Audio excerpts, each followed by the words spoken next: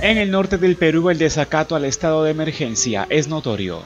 En el distrito de Vichayal, en la región Piura, decenas de jóvenes fueron sorprendidos libando licor en la calle, haciendo deporte y en citas de amor. Esta es la actitud. Esta es la actitud, señores, miren.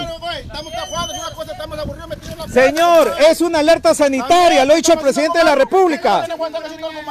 Váyanse a sus casas, señores. En otros sectores de dicha región, la policía no fue complaciente, pero sí estricta en darle una lección a los faltosos.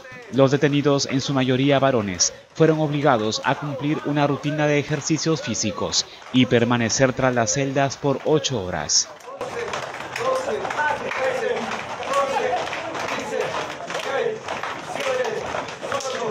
Y a falta de transporte terrestre interprovincial, pescadores artesanales realizan el traslado ilegal de pasajeros a bordo de sus embarcaciones.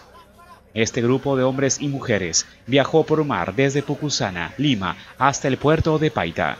No hubo control alguno.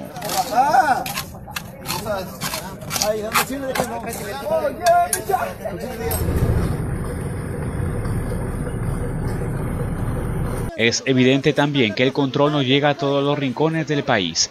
Sin embargo, está en nosotros dar muestras de civismo y solidaridad en esos momentos difíciles. Señores, esta es la actitud. Esta es la actitud, señores, miren.